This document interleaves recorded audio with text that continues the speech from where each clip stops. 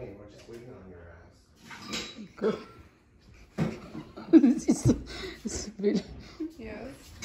So, Rose, stand on the other side because we don't want this as your background.